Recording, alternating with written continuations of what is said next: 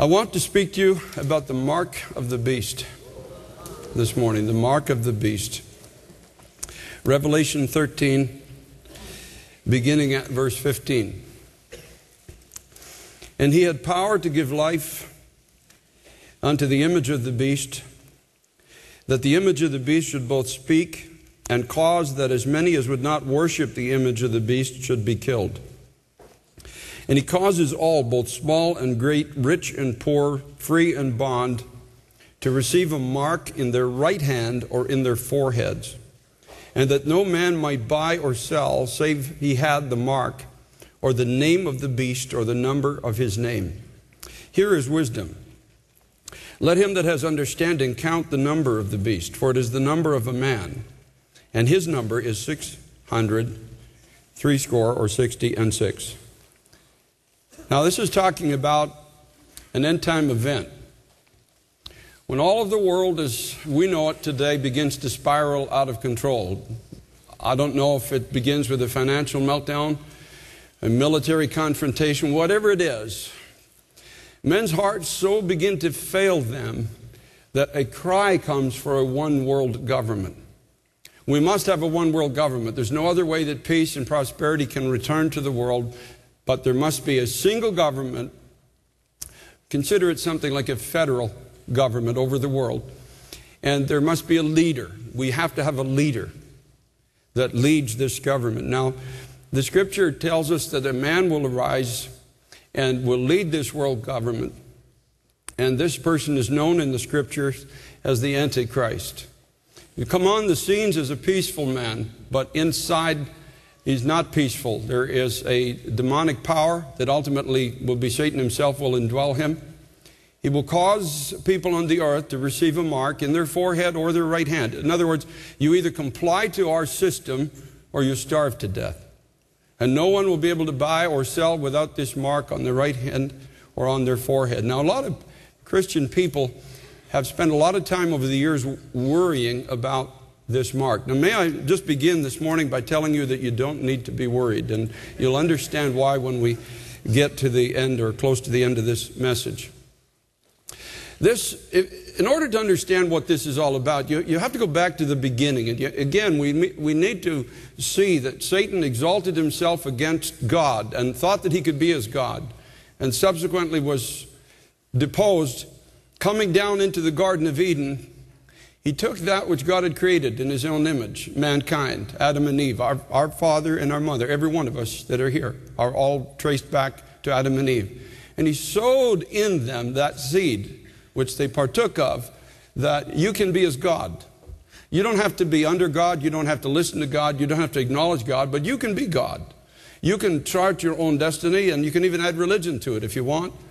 But you can be God. It can be your mind that determines what is good and what is evil, and you can chart your own course, and you can be God. That is the besetting sin. That's the original sin of humankind. That's what's in our nature. That's what's called the fallen nature. That, that which within us wants to be God and wants to be as God, wants to literally live any way we want and not suffer any consequences, and, and, and in our minds, at least, concoct some kind of an eternal euphoria that we're going to live in, in spite of the fact that we have declared ourselves to be God. Now, 666, it, most numerologists, biblical numerologists, uh, ascribe the number six to man. And they ascribe a different number to God. Uh, three to God, seven to God's perfection. I, am not going to get into all that. But 666 is a trinity. And, it, and realistically, it's, it's man and his body, his soul, and his spirit indwelt by Satan himself. It, it's finally when Satan, the, the, rebellion that began in Eden, is finally reaches its, its climax, where man declares himself, uh, a man indwelt by Satan, declares himself to be God. He will actually go into Israel, go into the temple, and he will declare himself physically to be God. That's been Satan's goal right from the beginning. And he will finally have created an unholy trinity as it is. And all of humanity that agrees with that, all of humanity that agrees that man can be God, it, it be nothing to these people to receive a mark on their forehead or their hand because they've already agreed with it long before the mark ever comes. They've already agreed with this fallen thinking, this fallen theology. In their minds, they've been given to this fallen condition that man can be as God, and the right hand, which always represents the hand of power. Remember, Jesus is at the right hand of the Father. Christ stands at the right hand of the poor, the scripture says, to strengthen him and to lift him up. And the right hand is the hand of strength. It's where, it's where we're reaching. It's what we're ascribing to be and to attain. It's what we've set our hand to do. So it would be just natural to receive that mark as it is on the right hand because the pursuit has already been in line with the thinking of Satan himself. Jesus himself told us in Matthew 24 and verse 38 that as in the days that were before the flood, they were eating and drinking and marrying and giving in marriage until the day that Noah entered into the ark. Now, obviously, eating and drinking are not a bad thing. And marrying and giving in marriage, even the scripture says it's a good thing. But it implies a preoccupation with security and pretending that all is well. Convincing ourselves that there is no God, no judgment, no everlasting peril just ahead of us. And even if there is some acknowledgement of God, it comes with an inner scorning. Peter said in 2 Peter chapter 3 verses 3 and 4, knowing this first, that there shall come in the last days scoffers walking after their own lusts, given to this pursuit of self as it is, and saying, Where's the promise of his coming? Now, it implies, doesn't it imply to you, it does to me, that there is some knowledge of the scriptures here. These, there, there, are people out there that have never even considered this, so they're not really included in this. These have to be people that, at least at some point, had some knowledge of the Word of God knowing that Jesus was crucified for sin, died, rose again the third day, and is promised to come back to rule and reign on the earth with those that are his own. But there's a scorning in those who walk after their own lust, not given to the things of God. Their minds are not fixed on the things of heaven. Their hands are not reaching out to what is legitimately in the scriptures the work of God. And so a scoffing comes into the heart, and they said, Where is the promise of his coming? For since the fathers fell asleep, all things continue as they were from the beginning of creation. It's the type of person who sits here today and says, Oh, no, not another message about the coming of Christ. They've been preaching that for 2,000 years. You know, my father used to tell me, he said, Son, live every day like it's going to be your last, because one day you're going to be right. Paul says in 2 Thessalonians chapter 2 and verse 3, he said, That day, that's the day of Christ, will not come except there come a falling away first. A falling away. You, in order to fall away, you have to have been somewhere to fall away. A falling away, a falling away of people who sat in church but never embraced the work of God. Never really had, didn't want to go to hell, but didn't want to live for heaven either. Didn't really wanted the cross for redemption, but did not want the cross for a lifestyle. Didn't want to really go any deeper than just a superficial reading, sing a few songs, feel good in church. And that was, in a sense, the, the extent of it. And, but folks, that won't keep you in a storm. When, when things got tough in these last days, according to this, they, they fell away to a secondary, another reasoning. It's important to understand what it is they, they fell away to. Joel, the prophet, in chapter 3, verse 14, he clearly speaks of multitudes in the valley of decision, or actually, the word for decision is threshing. As the, as the time leading to the Lord's final judgment on this world draws to a close. Now, Joel, speaking of God leading armies as it is around the world into this, this valley where there's going to be a reckoning with a holy God, and multitudes are in a place of deciding something. And maybe that's you this morning. Maybe you are one of the multitude. The world is being gathered to a point. It's being gathered to divinely by God. Nothing is happening that the Lord has not foretold us of. Everything is unfolding exactly as He planned it from before the foundation of the world. It's all been about a bride, a church, His Son, and eternity with Him. And the world is going to be folded away. And leaders and kings are all in the hand of God. There's nobody can form a plan that is outside of the will of God. And when you and I finally understand that, we're being brought to this. I think the culmination of the world as we know it is very, very close. And there are multitudes in a place of decision now. It, how deep am I going to go with God? How far am I going to go? How, how much am I going to let Him rule my life? How willing am I to let His value system become mine? his plan for my feet become the plan of my life as opposed to my own plan, which really does make me the God of my own life, doesn't it? If, if you're bringing in here some plan today and you're asking God to bless it, aren't, aren't you God in your own? Haven't you fallen into the trap of Satan himself? As I read the scriptures, I'm not called to bring my plan to God. I'm called to come to Him and get His plan for me.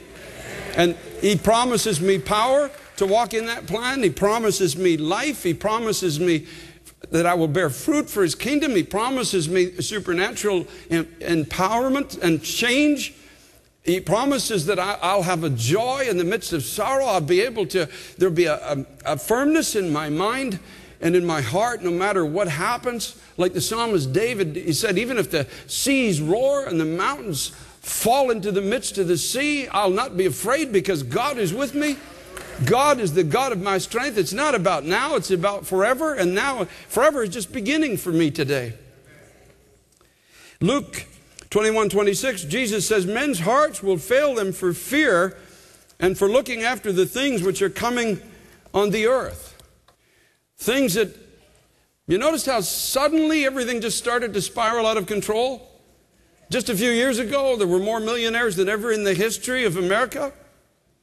And now all of a sudden, we're seeing riots in France and we're seeing instability in Greece, and Japan is on the brink of collapse again. And there's talk everywhere that the, the, the almighty American dollar is losing its strength and its value.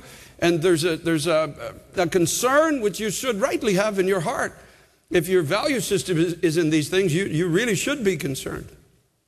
And just like Esau did, many who still have access to the promises of God are going to have to make a choice. Now, now Esau was one of the sons uh, of, of, let me not just go into all the history, but he had access to the promise that God gave to Abraham. The promise of life, the promise of, of supernatural empowerment, the promise to, that he would be a blessing in the earth and it was going to flow through him. Just like you have that promise, I have that promise. But he had a choice to make. And one day he walked in and he, he was hungry and he, he saw he had a choice between what is promised tomorrow and will be eternal or what is here today and won't last for long. And it's almost inconceivable that he traded off the life of Christ that, was flow, that could have flowed through him for stew for a bowl of stew. But you see, he held no value to the, the life of Christ, and that's, it became the natural thing to trade it off. Why will people fall away? Well, because they've been part of the family, but never really internally embraced what that means. Never really came to a place of awe and saying, God, you promised me life. You've promised to come and dwell within this earthen body. You promised, Lord, to make me much more than I could ever be in myself. You, you promised to lead me on a path through this earth and then into eternity where I'll rule and reign with you. And, and much of that is promise. You, you may not see the fulfillment of all of it on this side of eternity. And Esau was a man who just said, No, I, I just want it now. Just like the prodigal son, give, give me my inheritance now. I want the kingdom now. I don't want to wait until this, this physical life is over. I, I, want it all right here and I want it all right now. I want to be wealthy now. I want, a, I want a mansion now. I want to rule now. I want it all now. And so he sold off what really is God and took the inheritance and headed in the wrong direction. Esau headed in the wrong direction and the prodigal son headed in the wrong direction.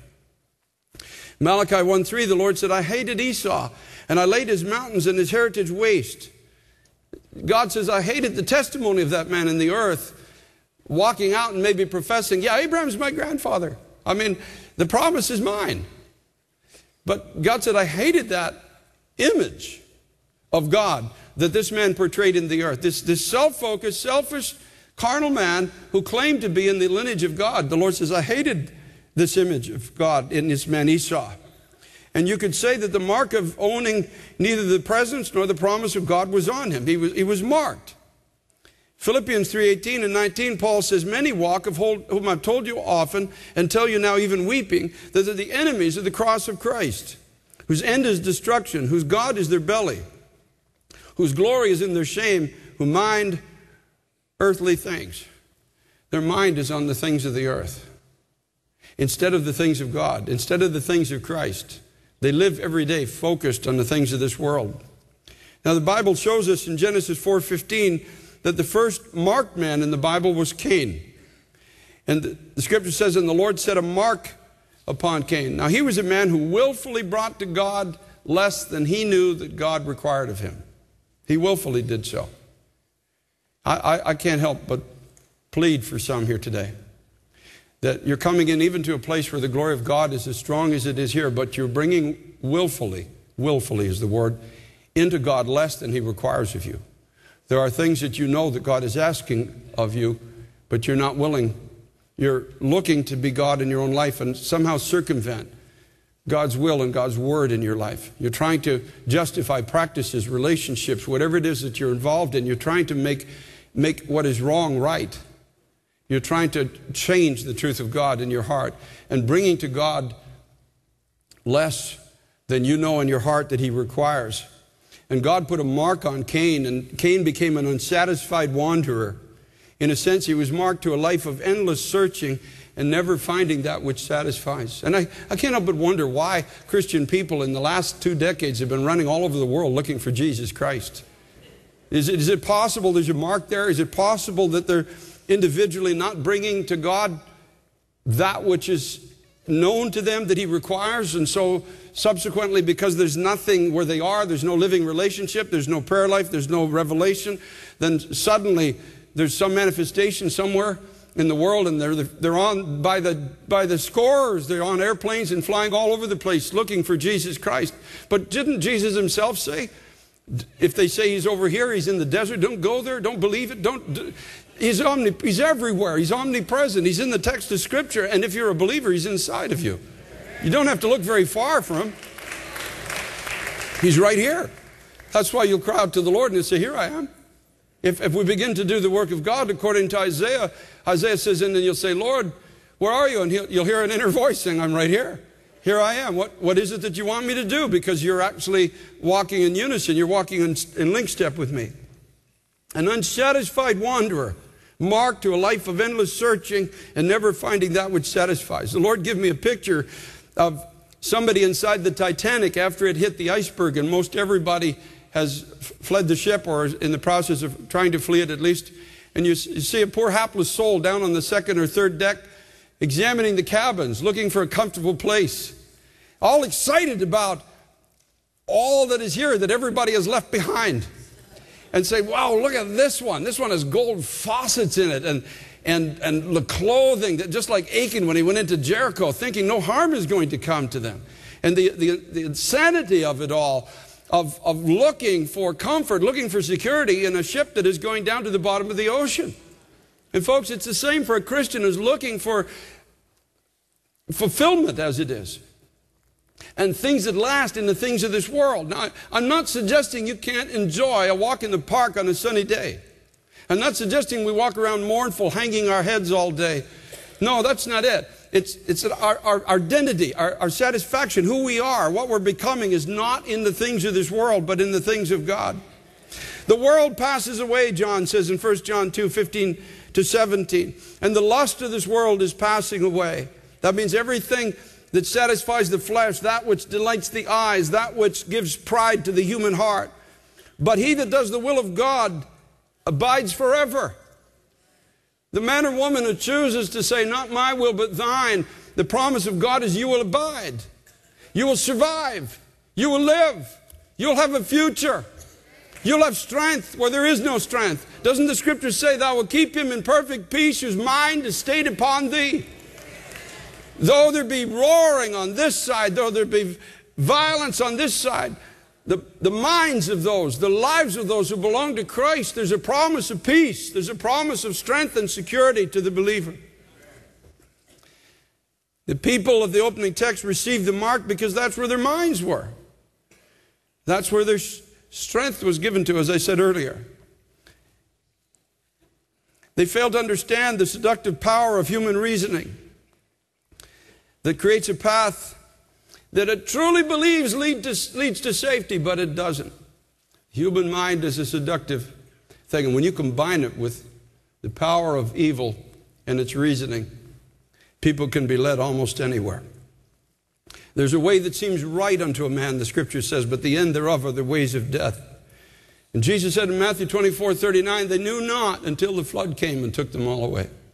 They knew not. I think of the multitudes that must have passed by the ark that God was building at that time on their way into the city to do whatever it was they were doing in the city. And I'm not suggesting all the activity was evil, but I am suggesting it fell short of the glory of God. And they, they knew where it was and they passed by. And scripture tells us that Noah was a preacher of righteousness and he would have been standing before the multitude saying, There's a day of justice coming. Folks, you've got to get right with God. You, you need to get into that place of safety, which he is preparing clearly, visibly before you. It's not hidden. It's not a secret. It's, it's not something you can honestly ever say when you stand before God. I didn't know it was there. I didn't know what it implied. You see, it implied a leaving of the pursuits as it is, the, the full pursuits of the things of this world, and the beginning of, of the building of something that was being ridiculed by fallen man. They knew not until the floods came and took them all away. Revelation chapter 12 tells us that Satan was cast down to the earth knowing his time is short, and he cast out of his mouth water as a flood. They knew not till the flood came and took them all away. Satan is one day physically, this scripture in Revelation will be fulfilled, where this water comes. Uh, it's a combination of threat, promise, and deception. This, this dirty water comes out of this vessel that claims himself to be God and deceives multitudes by this flood that are on the face of the earth. It speaks of a specific time yet to come, yet this progression of lawlessness and deception, according to Paul in 2 Thessalonians chapter 2 and verse 7, is already at work. It's already here. There's already confusion at every turn. This, is, this society is getting confused, folks. There, there's, there's, doesn't even seem to be a quest for truth anymore. In Matthew 24, Jesus said, There'll be two in a field, one will be taken and one will be left. There'll be two working at a mill, one will be taken and one will be left. But, and we ask ourselves, taken where? I, I just say they're taken into the protective hand of God. That's where I need to be. That's where you need to be in this generation. Take, just take it in whatever form, whether you believe that's the rapture of the church or whatever. The fact remains it's God reaching down and saying, This one is mine. And nothing is taking this one out of my hand. And I'm going to take you through. The promises I make to you are going to be yea and amen. You're not going to be left to the fears and the reasonings of others around you.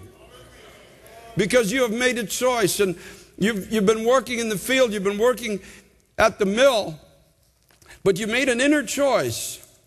And let me read to you that inner choice that has been made by these that will be taken into the hand of God. In Hebrews chapter 11 and verse 13, it says, These all died in faith, not having received the promises, but having seen them afar off, and were persuaded of them, and embraced them, and confessed that they were strangers and pilgrims on the earth. For they that say such things declare plainly that they seek a country. And truly, if they had been mindful of that country from whence they came out, they might have had opportunity to have returned. But now they desire a better country, that is a heavenly one, where God is not ashamed to be called their God, for he has prepared for them a city. You see, it's people like you and me working at the same mill, working in the same field, but just like Cain and Abel. One is bringing a sacrifice that is acceptable, another is not. Like Esau and Jacob, one really values the inheritance of God in Christ, and another one holds it in his or her hands very, very lightly. In one of these people that Jesus speaks about, there was an inner longing for God. It, this longing was so intense that they had in their hearts become strangers to this world. This message began a few weeks ago in my heart. Every day I have to go out and do some things in the city, and I'd take my dog once in a while and go for a walk. And, and lately, there's just been this inner groaning in me. I said, God, I, I really, I don't, I don't like what this place has become. I, I don't, I don't like the violence. I don't like the violence. I don't like the man step on man to get what he needs and wants. I don't like the evil conversation. I don't like the fact that everybody's yelling in their cell phones now in every corner, screaming at somebody. Everybody's screaming at somebody. Everybody's angry. I don't, I don't like coming out of my apartment and seeing all the vomit this morning from, from last night. There's vomit on the street. There's vomit around the corner. I took my dog for a walk this morning and all the way down the street, 8th, and all the way down one of the side streets, there's just piles of vomit everywhere where people have been coming out of bars and clubs have been throwing up in the streets. And there's just something inside of me that I, I, although I, I love my family beyond words and I, I love my, my grandsons desperately, uh, there's something inside of me just just wants to go home. This is not my home, folks. This is, this is not my home. I'm, I'm left here for your sake. And I, I, Paul said, I, Paul said, I'm not Paul, but Paul, I, I, can, I can understand what he was saying. Paul said, I would love to go home, but it's more expedient for me to stay here. See, Paul had a, a revelation of God. He had a revelation of the cross. He had a revelation of the purposes of God. And Paul was saying, I stay here just for that. That's the reason I'm here. Now, Paul made tents. He had an occupation. Paul traveled. Paul, Paul had times of joy, I'm sure. Paul had times of laughter with some of his good friends. And we're not called to walk around mournful and not to enjoy life as God has given it to us. But Paul was here for a specific reason that God had left him here, just as you and I are. This whole planet is going to perish as it presently exists, and men and women who don't know Jesus Christ are going into hell, a place called hell, which is the absence of God, and all that means they're going there forever. They're going there into all eternity. And you and I are left here to warn people about this, to reach the poor man who has nobody to tell him that God loves him, to go to the prostitute, to go to the lame, to go to the leper, to go into prisons, to go into places where people are sick, whether it's physically sick or sin sick, and tell them, not just tell them, but show them that God loves them. That's the kingdom. How do I, how do I show people that God loves them? Let's say I was a trader on the trade floor and I'm yelling and screaming and scribbling on papers just like everybody else and frantic and fretting and chewing my nails and running outside and smoking on my break and then I go back in to try. Hey, by the way, did you know God loves you? Do you see the, the, the idiocy of it? It's, it's an Esau that completely, completely embracing a wrong value system. But the man or woman of God, I'm not saying you can't work on the trading floor, but would you please keep it in perspective? Would you please understand that all you're doing is rearranging the deck chairs on the Titanic?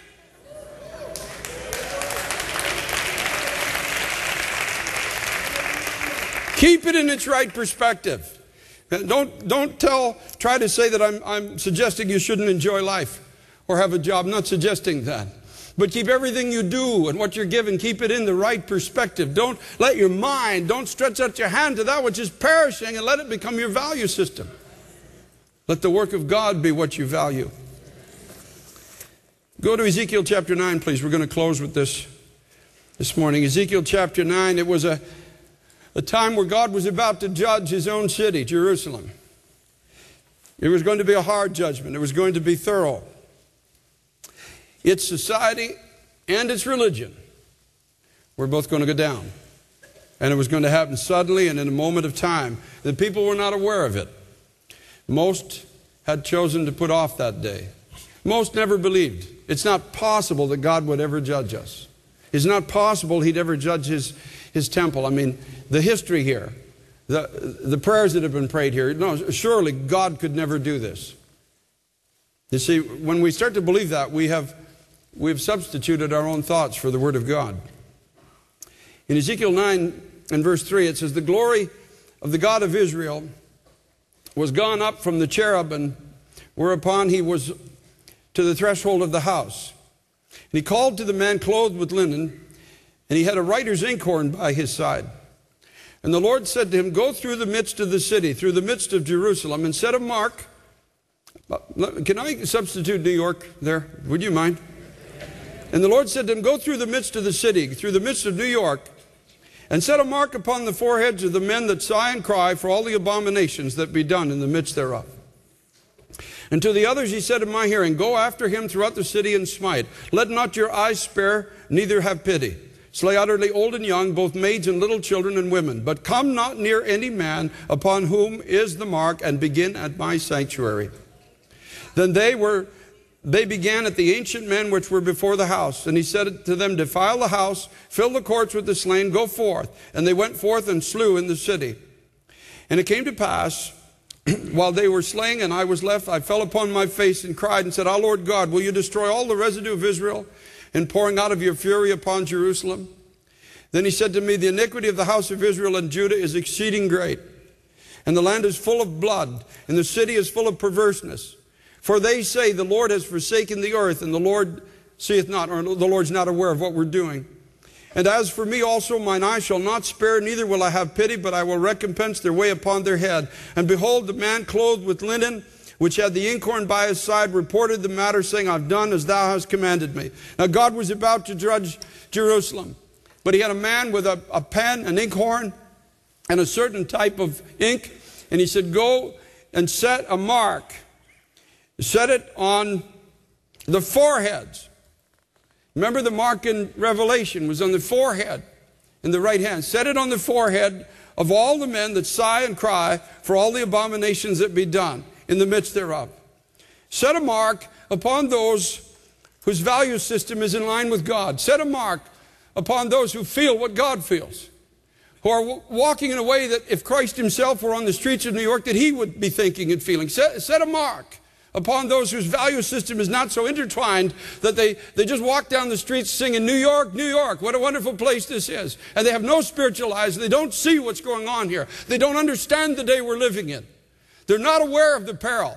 They're, they're not even concerned about the plight of the eternity of those who are vomiting in the streets in the evening. They, they don't care because their, their forehead, their mind, and their hands are in with the same value system like Lot was of the society that they're part of. They, really don't have the value system of Christ.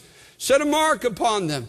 If you are walking the streets of this city, if you're sitting on the subway, single moms with your kids, I'd, and everybody here today, if there's a sighing in your heart, you can be thankful for that today. If you're walking around the city and it's not that you're morose, but there's this inward awareness that I don't belong here. This is not my home. My satisfaction is not here. I don't care if they give me the tallest building in Manhattan. What would it do for me? I don't care about these things. These things don't matter. I have a mansion in heaven. I have a promise of God. I have a promise of the life of Christ. God knows, the scripture says, those that are His. He said, set a mark on them. God knows those that are His. God knows who you are out there. They're sealed, Jesus said, in the Father's hand. That settles it to me, folks. Sealed in the hand of the Father. Let, let hell throw what it may. Let the devil send a flood out of his mouth. Let society get confused as it want to get. Those who belong to Christ, I am, you are sealed in the hand of Almighty God. And nobody, nobody can take you out of the hand of God. Nobody. No flood, no fire, no army, no demonic power no height, no depth, no battle, no evil, no situation, no poverty, no trial. Nothing, nothing can take you out of the hand of God. Nothing. And Paul said, I know whom I believed, and I am persuaded he's able to keep that that I've entrusted to him against that day. Paul said, if I have to face flood, trial, if I have to be shipwrecked, if I have to swim to shore, if I have to snake, shake off a snake off my hand into the fire, if I have to be chained to people in prison, if all I have left is a pen and a piece of paper, I am persuaded. The scripture tells us that no weapon formed against you will prosper. No weapon!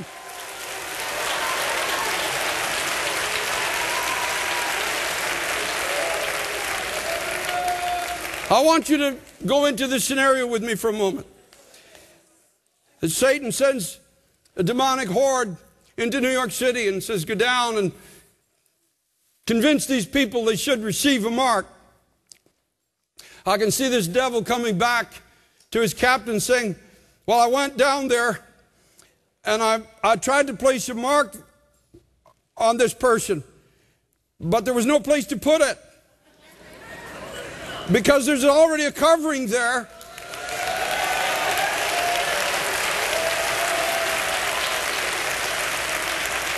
And it takes up the whole space. There's not even a corner, there's not even a little place I could put a mark. The covering takes up the whole space.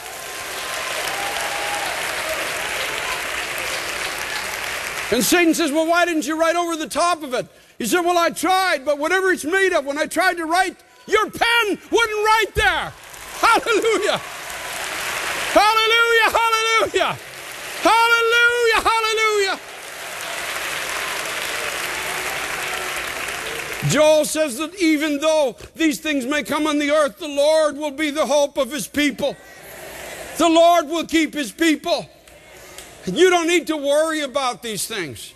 You're probably going to hear a lot about it. You turn on the television, everybody's going to be talking about these things in our generation. But God sent me to help tell you this morning that you don't have to worry about any of these things. You're already marked.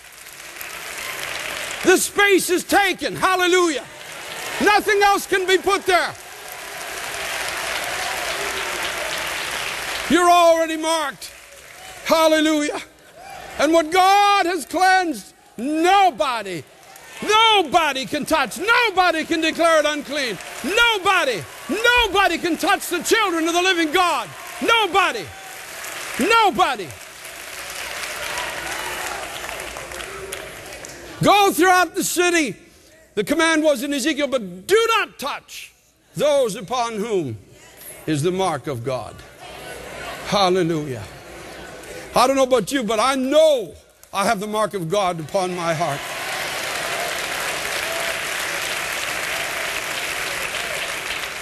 Mothers with children, you don't have to be afraid of the future. God's going to be faithful to you. His covenant applies to you and it, and it applies to your children. You're going to be surprised soon as they start coming home. You say, Mom, would you tell me one more time what it is that you've been trying to tell me all these years? Fathers with families, don't be afraid of provision. Don't be afraid of the future. God is going to provide. You say, Pastor, how's he going to provide? I don't know. Look in the scriptures. One time it just rained bread out of heaven. Other times just jars just miraculously filled up with oil and when they poured it out it just never went away. How's he going to provide? One time he took a few fish and a couple of loaves and he fed 10,000 people with it.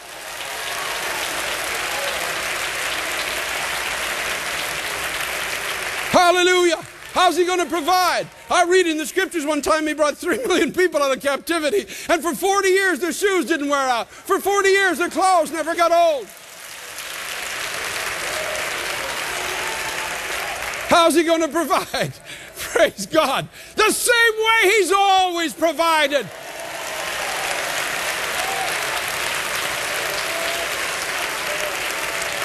We're not going to need any help from the devil for, to get bread in our cupboard or get clothes on our back, folks. Praise be to God. What a day this is going to be. The Lord is miraculously going to help his people.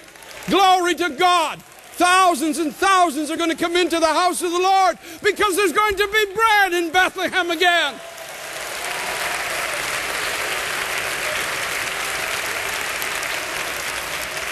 Teens and young people, don't worry about your future.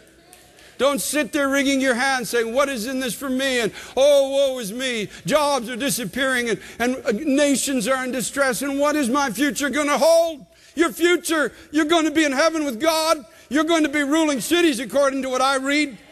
You're going to have an explosion of knowledge in your mind. The scripture says you're going to even know as you are known. You're going to be in the presence of God.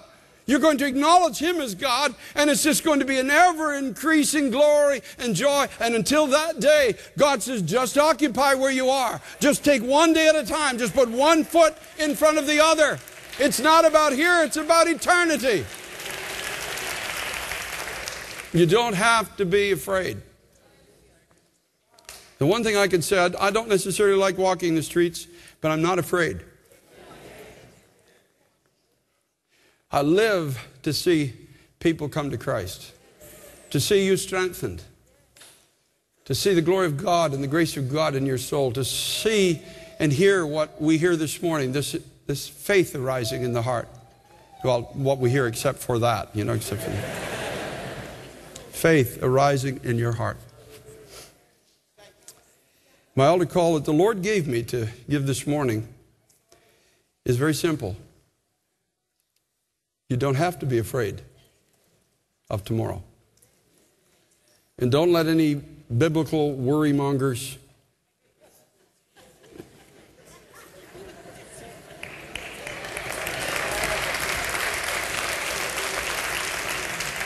You have Christ in you, you have an honest heart, you are as secure as you could ever be in this world. The Lord will be faithful to you and to your children and to your family. You have absolutely nothing to be worried about in the coming days. I would like to give an altar call for those that are afraid, those that are dealing with fear. Would you come today and just let God bless you? That's, it's that simple. I felt the Lord say, just just call for people who are afraid. Young people who are afraid, older people are afraid. You're afraid of losing your job. You're, you're afraid of your kids and what's going to happen in the future. You're just afraid. You're afraid of the city. You're, afraid of the violence that could break out here, as it is happening in Paris or in France at the moment. You're just afraid of it. God says, Would you just call those to me that are afraid and pray together? And I think the Lord will just supernaturally bless you. And as He blesses you, He'll give you courage to say, God is true. What He said He's going to do for me, He's going to do for me. He's going to keep me no matter what comes my way. Let's all stand together in the annex. If you could step between the screens and here in the main sanctuary, just come, please. Step out of wherever you are. For those who are afraid, you're just afraid, and come. We'll pray together, we'll worship together for a few moments and believe God together.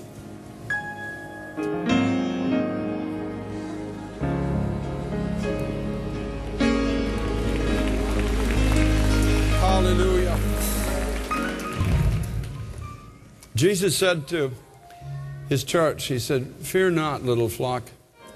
It is your Father's good pleasure to give you the kingdom.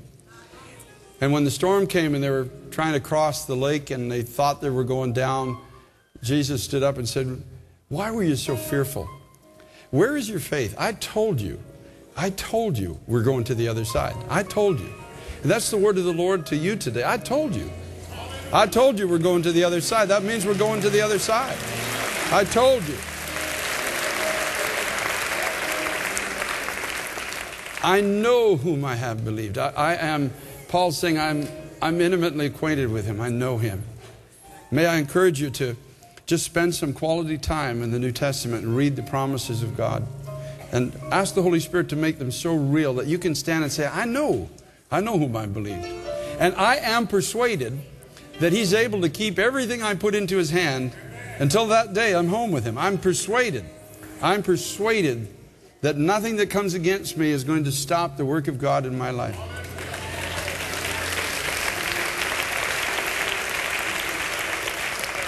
Father, I ask you in Jesus' name to bless those who have come to this altar in body and in heart today with peace.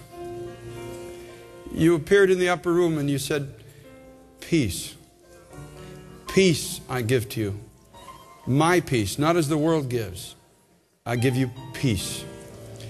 Bring our hearts to rest, Lord, no matter what we are looking at ahead or our own situation. Just give us peace.